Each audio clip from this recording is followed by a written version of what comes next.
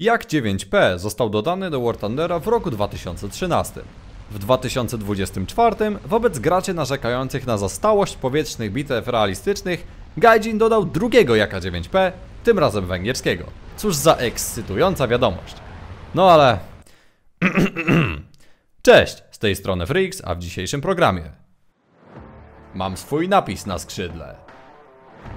Testuję wytrzymałość skrzydeł i korsarz wykonujący mm, dziwne manewry. Czołem! Z tej strony Freaks, jestem wielce podekscytowany, że przynoszę wam oto ten unikatowy samolot, który absolutnie nigdy wcześniej w War Thunderze się nie pojawił. Natomiast na kanale dawno jaka 9P nie było. Polatałem nim trochę i już wiem dlaczego. Bo to jak? A jaki?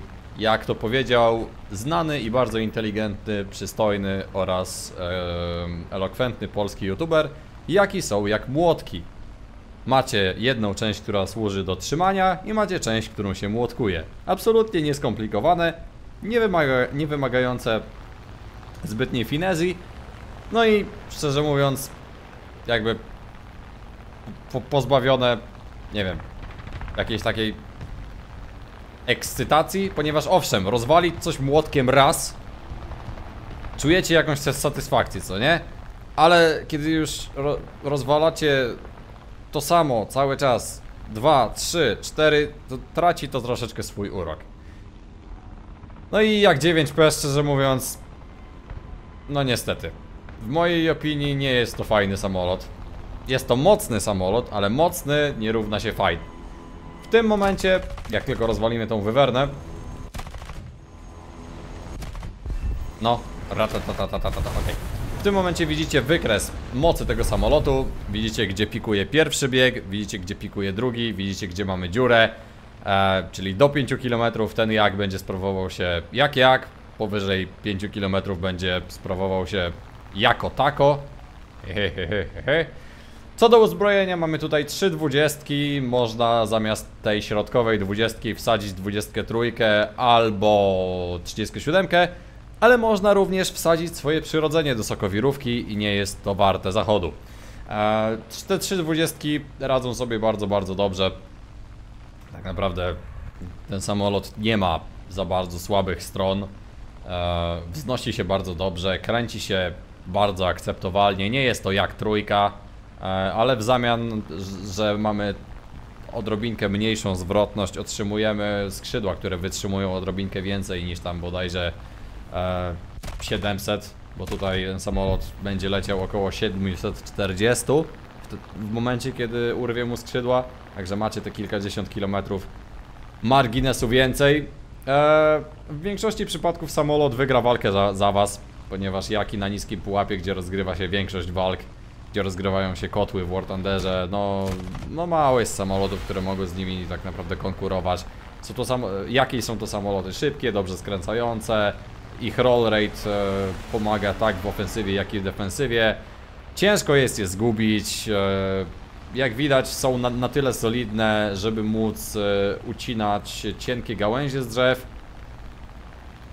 Widzicie, że za chwilę F4 udowodni e, moją teorię, próbując zreplikować mój manewr. E, jak widać, urwał sobie skrzydło, także no... Jak 9P jest to samolot średnio ekscytujący, którym naprawdę ja nie, nie latam, chyba że muszę, tak jak w tym przypadku. Szczerze mówiąc, e, nie, no, nie są to po prostu zbyt ekscytujące maszyny. Są to samoloty, którymi naprawdę można kręcić dobre wyniki do, powiem brzydko, usranej śmierci. Natomiast ekscytacji to one nie dostarczają. Są po prostu za mocne i... Znaczy za mocne, no. Są za mocne, żeby dostarczać ekscytacji w ten sposób. Obecnie widzicie, że lecimy na 4,5 km, czyli to jest najwyżej jak w bitwach realistycznych e, można polecieć. No i tak naprawdę zaczynamy walkę, no i widzicie, łup, łup, koniec, zero wysiłku, lecimy dalej. Wszelkiego rodzaju foke wolfy czy coś takiego, to są samoloty do latania, którymi e, na przykład taka Dora, zobaczcie. Dory są to dosyć smutne samoloty z kolei, ale naprawdę, żeby coś nimi zrobić, w mojej opinii trzeba wiedzieć co i jak. Żeby coś zrobić jakiem? Średnio. I tą teorię za chwilę postaram się udowodnić, ponieważ zobaczycie co, co zrobi ta Dora, a co zrobię ja. Ponieważ wiecie, że jeżeli na tym pułapie leciałbym, le, leciałbym Dorą, no to musiałbym robić jakieś, wiecie, rope, adopt czy coś takiego. Musiałbym wystalować, e, złapać w pułapkę energetyczną takiego jaka 9P. E, no i, i li, liczyć na to, że uda mi się go zestrzelić. Żeby zrobić to samo, ale w drugą stronę, zobaczcie co muszę zrobić.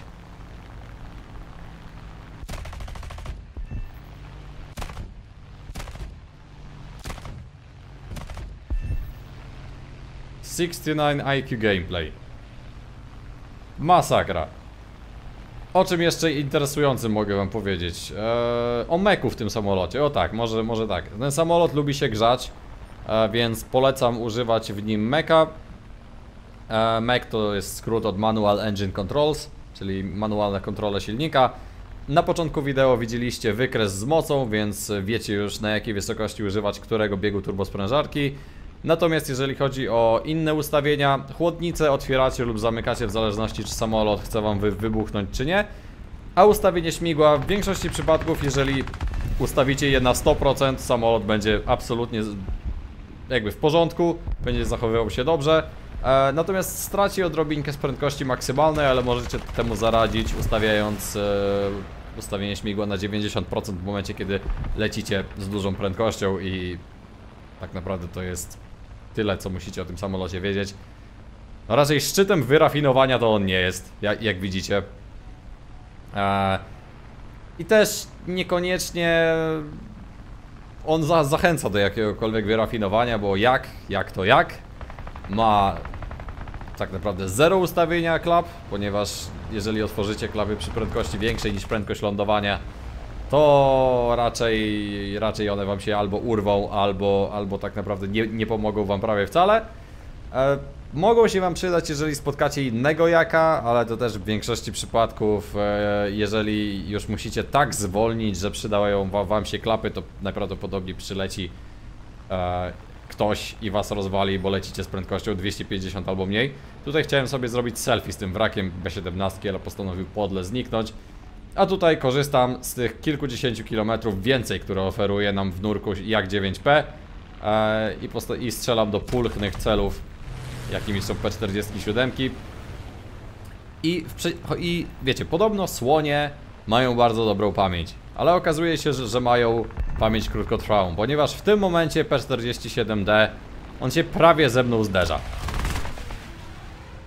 I 15 sekund później zapomina, że istniejemy. Aczkolwiek może teoretycznie może chciał uciec. Ale w tym momencie to mógł już tak naprawdę wyskoczyć, bo leci za nim jak 3U, a jak 3U jest jeszcze głupszym samolotem niż jak 9P. Aczkolwiek nie ma dwóch jaków 9P, więc tak naprawdę głupota w przypadku samolotu, którym ja lecę, jest rozłożona 50-50 pomiędzy graczy a deweloperów. Jako 9 jest w 100% na graczach. Ech, no cóż. Czołgiem i do usłyszenia i miejmy nadzieję, że następne maszyny będą troszeczkę bardziej ekscytujące i łechtające moją przestrzeń mózgową. Nie mam pojęcia o czym mówię. Czołgiem i do usłyszenia.